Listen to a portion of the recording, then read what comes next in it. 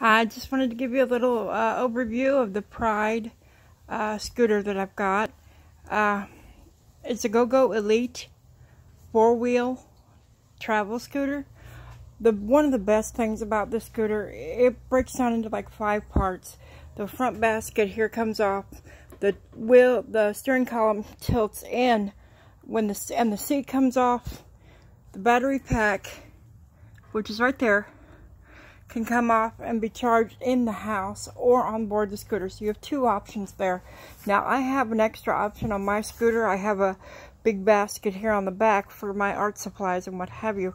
I think the four-wheel version of the scooter is a lot more stable than the than the three-wheel version I had and your chair does swivel. It uh, it's a lot more powerful now. you've got two choices on the batteries. The 18 volts or the 12 volts. I, if you can get away with it, go with the 18 so they give you more power to get up your hills and stuff.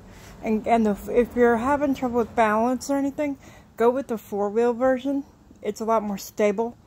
Uh, on the back, you'll see you have your, a lot, everyone has the anti-skip wheels, wheelchair scooters, electric wheelchairs, all that, but uh, those are still a nice feature to have. So, uh, it's really portable, really strong, really powerful little scooter. So, and you have options of red or blue.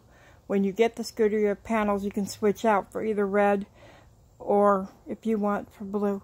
So, it's a pretty good, powerful little scooter that will get you where you need to go. Bye.